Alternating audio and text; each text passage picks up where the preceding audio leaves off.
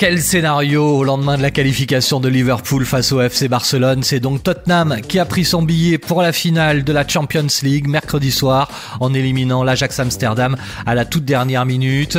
Comme la veille, cette deuxième demi-finale a été complètement folle avec notamment un triplé de Lucas Moura, l'ancien joueur du PSG. Pourtant, l'Ajax avait un but d'avance après le match allé aux Pays-Bas la semaine dernière et les Néerlandais ont rapidement ouvert le score ce mercredi avant de doubler la mise en première période. Dans cette édition 2019, de la Ligue des Champions, Tottenham aura donc forcé son destin pour finalement faire tomber l'une des équipes les plus élégantes cette saison.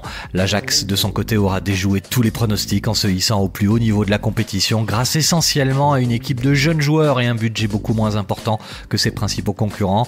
La finale de cette Champions League est programmée le 1er juin 2019 à Madrid. C'est la chaîne d'information continue BFM TV, exceptionnellement, qui diffusera gratuitement la rencontre pour les téléspectateurs français.